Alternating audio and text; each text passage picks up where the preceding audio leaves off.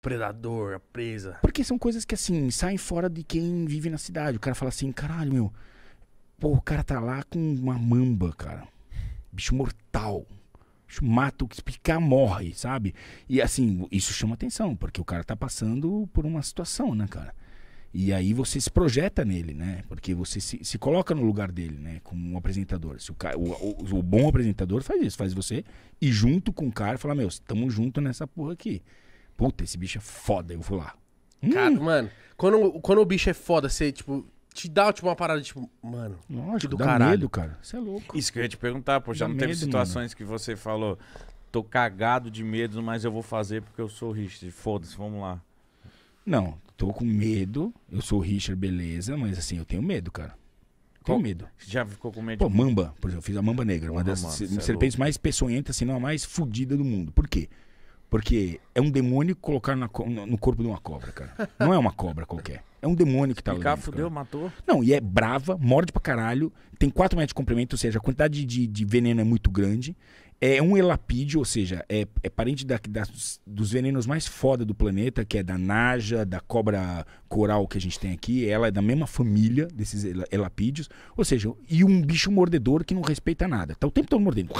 E os dentes inoculadores são na frente, ou seja, não tem como errar.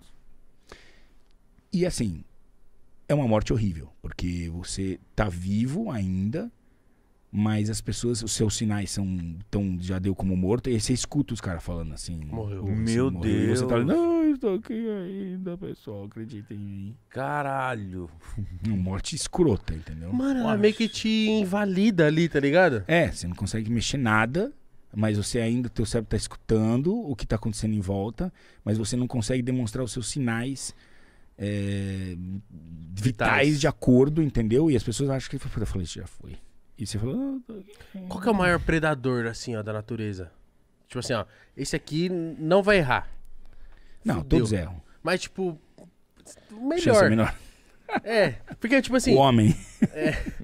porque, tipo, O tem, tem o guepardo, né, que é monstro. Mas filha da puta é homem. É não? Guepardo é um doce, cara. Sério? É, meio cachorro, meio gato. É diferente. O guepardo é um bicho diferente de qualquer outro. Ah, ó, eu acho assim, leopardo é um bicho, quando você fala em bichos é, terrestres, tá? Leopardo, porque senão você vai pro mar, por exemplo, a orca. A orca é foda. Sério? A orca é inteligente pra caralho. É o maior golfinho do planeta. É golfinho, não é baleia. É que é uma confusão na terminologia, né? Ela é, é- é matadora de baleias. Então ela devia ser whale killer, mas aí mudaram pra killer whale. É, é um negócio deu errado, mas Tá. assim, ela é um golfinho fudido. Não tem tubarão, não tem porra nenhuma pra orca. E ainda Caralho. trabalha em grupo. É bicho é foda. É um golfinho, inteligente pra caralho. Mas então como que conseguem domesticar ela, porra? Pra fazer lá não conseguem exatamente, né? Tem uns negros que se. É, então, né? eu já vi vários vídeos É, pesados. Então, é pesado. é. Mas então por que que mexem com essa porra se ela é ela é assassina? Não, então, ela não é essa. Então, é, porque. uh, Enfim, houve uma época. É um golfinho, um golfinho inteligente. Ahn, tá. Houve uma época. É assim, os tempos vão mudando, cara. Sabe? Eu, eu lembro 40 anos atrás, com meu avô, eu ia pescar. E a gente tirava tudo do rio. Não sobrava porra nenhuma. Meu avô tirava tudo, tudo. Fazia varal na Amazônia, no Pantanal, tirava tudo. 20 anos depois, ele estava fazendo pesca e solte.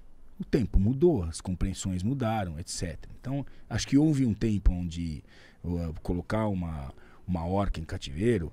eh, Passava batido. Passava. Então, tive circo com bicho, vocês lembram? Lembro. talvez, talvez nunca tenham visto. Eu lembro, eu, já fui vi. em circo com eu já. elefante, mano. Você já Sério? foi? Já. Que idade você tem? Tenho 31. Ele é velho. Se eu sou velho, esse teu cu dele, se ele é velho, eu sou o quê, cara? Você Matusalém. tá com quanto? 24. Puta, né? Sou bebê, É, cara. moleque. Tá, mano. Bebezinho, pô. Tá, eu já fui em, em circo que tinha bicho, cara. e Não tem mais, entendeu? É uma evolução, cara. Não é pra ter. E, e assim vai. E aí teve uma época que os caras colocaram. Tinha golfinho e colocaram orca também dentro de uma piscina, entendeu? Meu Deus, mano. Então, mas é, outros, é outra época. Agora, a gente tem que pensar o seguinte: quantos estudos também foram feitos a respeito da, da orca naquela época? Porque tudo que os pesquisadores aprenderam sobre orca, tendo uma orca ali à disposição, foi incrível, cara. Tá? Foi incrível. Foi legal?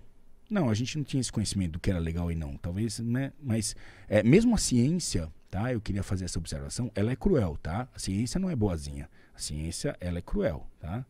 É que fica, ela, a ciência, ela está num patamar, num, num- ela está num, num púlpito, sabe? E a gente hoje eu, eu- hoje eu discuto muito isso, entendeu? Acho é claro que a ciência, tudo que eu falo e veio da ciência, né? Alguém estudou, mas a gente tem que pensar que a ciência é cruel. Ela não é, sabe, uma boazinha. E, e, e- conservação é algo também que é cruel. Não é feito só, ah, é tudo coração, ai, coitadinho, não funciona assim. Já falei várias vezes, eh, conservação nasce aqui, no coração, mas tem que passar por aqui e termina aqui, que é no bolso, né?